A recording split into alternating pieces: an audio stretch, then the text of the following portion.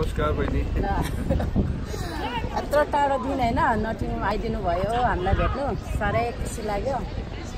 हामी त पहिला कति धेरै भयो होइन भेटेको हामीले धरानमा। कति वर्ष त्यही त भने अब के अरे आर्मीको यस्तो ब्याकग्राउन्ड पनि मलाई पहिला त त्यति इन्ट्रेस्ट थिएन। र तर अहिले अब सिधै बिहा भएर होला। मलाई पनि यति इन्ट्रेस्ट लाग्यो। अब मेरो ड्याडी होइन तपाईँको ड्याडीलाई चाहिँ हामीले बडा भन्थ्यौँ। गरेर अब पहिला सँगै हुन्थ्यो भनेको मात्रै मैले थाहा छ। हामी सानसानो हुँदाखेरि अब मेरो ड्याडी त सानोमै खस्नु भएर अब त्यति आर्मीको ब्याकग्राउन्ड मलाई पनि थाहा भएन। तपाईँलाई त बडाले होइन केही कहानीहरू भनेको होला हामीहरूको विषयमा ड्याडीको विषयमा। अलिकति भनिदिनुहोस् न। म पनि सानो थिएँ। तपाईँको ड्याडी खस्दाखेरि मलाई मेरो बाबुले बताएको थियो। त्यो केबी राई भन्ने मेरो एउटा एकदमै राम्रो घनिष्ठ भन्छ नि त्यसलाई। साथी त्यो बिचराको देहान्त भयो। उहाँको चाहिँ तिनजना नानी थियो। छ? पाँचजना पाँच तर त्यति बेला तिनजना पाँचैजना पाँचैजना। थियो। ओके। त्यो तिनजनाको चाहिँ मलाई पुरा थाहा छ।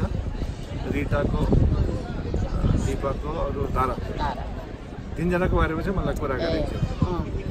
भन्दै थियो कि मेरो एकदमै राम्रो साथी हाम्रै एकदमै मतलब के भन्छ नि एकदम क्लोज रिलेटिभ भन्दा पनि ज्यादा खुनको रिस्ता भन्दा पनि ज्यादा नि। त्यो खुनमा खुनको रिस्ता त ठिकै छ बाई बर्थ हुन्छ नि होइन? तर जो घनिष्ठ जो साथीहरू हुन्छ उसको चाहिँ रिस्ता त्यो अलगै हुन्छ त्यो अलग लेभल त्यो बारेमा बताएँ त्यहाँदेखि तपाईँको आमाको बारेमा बताएँ। भने कि पाँचजना छ नानीहरू सानसानोहरू अरू अर्का मेरो उसको भयो बाई लक उहाँको पोस्टिङ पनि त्यति बेला नागाल्यान्डमै थियो त्यति बेला उहाँ घरमा निकै आउँथ्यो।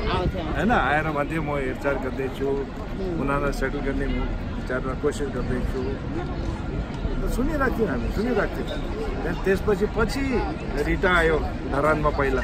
होइन. त्यसपछि मेरो विचारमा तारा आयो त्यहाँदेखि तिमी आएको थियो त्यहाँ त्यो पनि निकै वर्ष भयो नि अब त्यहाँदेखि लिएर अहिलेको हेरौँ कति वर्ष भइसक्यो अहिले त्यही त। भेट्दाखेरि धेरै खुसी लाग्यो नि। बहिनीलाई। त्यो पनि यहाँ नटिङमा चिताकै थिएन। त्यही त मेरो बाबा खस्दाखेरि म पनि सानो थिएँ। अनि बडा चाहिँ इलेभेन जियरमा हुनुहुन्थ्यो क्या जक्खामा भन्ने ठाउँमा। अनि यताबाट बडीले चाहिँ त्यो बच्चाहरूलाई हेर्नु केही दुःख हुनुहुन्न भन्थ्यो अरे क्या। होइन हाम्रो मेरो आमाले पनि बताउँथ्यो। धेरै माया गर्थ्यो।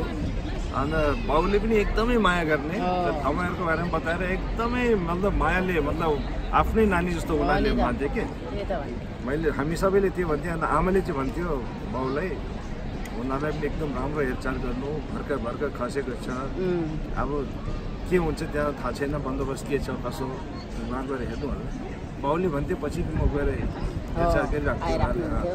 त्यसो भन्थ्यो त्यही त भने अब हामी फेरि हामी फेरि भेट्यौँ होइन। त्यसो गरेर अब हामी किपिङ टच गरिराखौँ होइन दाजु। त्यो गरेर अब धन्यवाद तपाईँ सबै आइदिनु धेरै। मलाई पनि धेरै खुसी लाग्यो। तपाईँलाई भेटेर गोपाललाई भेटेर। एकदम। धन्यवाद. Thank you